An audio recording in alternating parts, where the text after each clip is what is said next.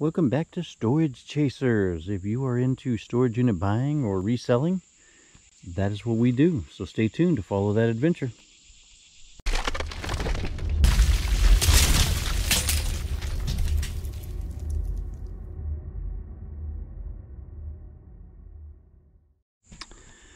Welcome back to the Storage Chasers channel. We are about to head out to pick up a uh, unit we just won. Uh, we're only going to take the truck again because uh, it's a small unit. Actually only has uh, one, two, three, four items, maybe five items in it. so, uh, plus we have the trailer full of stuff that we're getting ready to make a load to go to the flea market. So, yep, it is only the truck and it is uh, overcast. So we're a little worried that it may rain on us. Uh, luckily, this particular unit is close to home. It's uh, in Sumter, so it's only about 25 minutes away from us. So we're going to try and get down there, pick it up before they close for the evening, and we will just shoot the whole video probably there at the at the facility. So we won't have to bring it back to our home base operations. There is no security deposit or cleaning deposit that we have to leave for it or anything else. So we'll show you it when we get there.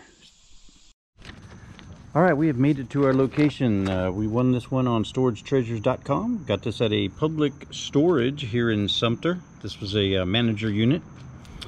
Uh, as you can see at the top, lien unit, manager unit. And uh, we won this one for, somebody bid us up to 80 bucks on this. After all applicable fees, 86.40 out the door. Not a lot of stuff in here. A TV that's probably broken, a little mini fridge, which we sell these pretty easily, especially for going back to school, people going to college need that. Little desk fan, it'd be nice for college uh, dorm rooms also. And then there's uh, like a couch here with some cushions and some miniature shelf. And there is, looks like a pallet in the unit. So yeah, so yeah, that's what we bid on picture wise. Here's the pictures. Here is the live. And we're gonna dig right into it right now because that's what we do. All right, so the TV is the Samsung TV. Uh, I think that I see rainbowing in it here already. It looks like it may be, yeah, the frame here looks kind of cracked on it there and then down here on the bottom. So I'm not feeling too hopeful that the TV will work, which we don't normally anyway. But we do have a little miniature fan that doesn't have a face on it. But there's a face over here, so we're good little mini fridge. Yeah, not too bad. Need a little bit of scrub-a-dub-dubbing in there. The door's got a crack in it for a little freezer door, but I don't think somebody going to college is really going to care too much about that. So yeah, we got that. Nice little mini fridge. We'll plug it in when we get home. And then we got this uh, here brown couch. See a couple little minor holes there and some stains that we can uh, try to work on. Take these uh, covers off and whew, throw those in the laundry scrub it up dub them here's the TV stand.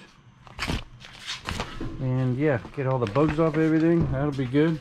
But we're gonna get this all loaded up into the back of the truck and uh, get it all swept out. Even though they asked us or told us we didn't have to clean it out or sweep it out we're going to do it anyway. That's because well, that's what we do.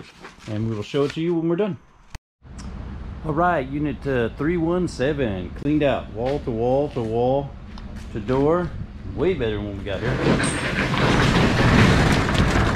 All right, we got our few items loaded up in the truck here. And uh, we're just gonna head out of this and head on home. Uh, the couch is in a little worse condition than we thought. Probably gonna end up trashing it. Pallet might be good for wood. TV also looks damaged, so the mini fridge, which is the only thing we really bid on the unit for, looks decent, and we may be able to make our money back just on that. We'll see. So uh, yeah, hopefully you enjoyed the video. Please like share subscribe comment all that good stuff. And as always we will talk to you later